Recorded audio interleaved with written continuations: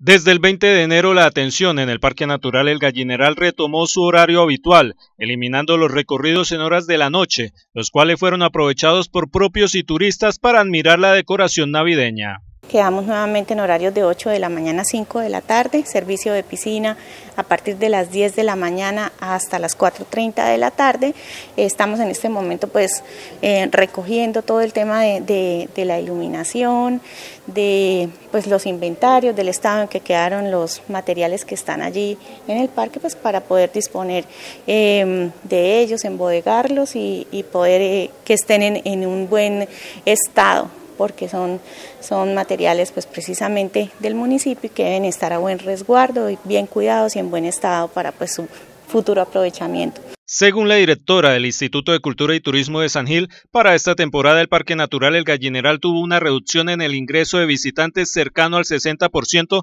en comparación con el mismo periodo 2019-2020. Es decir, nosotros tuvimos alrededor de 22 mil personas entrando al parque en enero del año pasado durante todo el mes y ahorita eh, llevamos más o menos al 11, unos 5.732 personas ingresando tanto en el día como en la noche.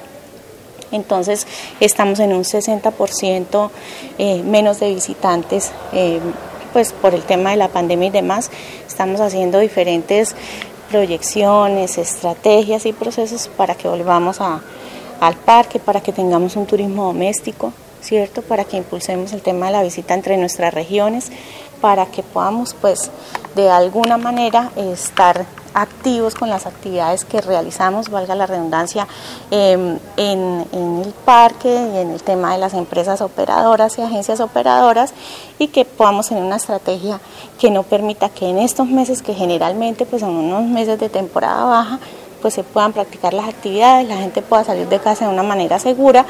eh, a practicar ciertas actividades, pero que no pongamos en riesgo pues a los prestadores y a la comunidad en general. Por estos días, desde la Administración Municipal de San Gil, en cabeza del Instituto de Cultura y Turismo, se buscan acciones que conlleven a la reactivación del gremio turístico y así poder apoyar a los empresarios que tienen sus actividades relacionadas con deportes de aventura, hotelería, restaurantes, entre otros.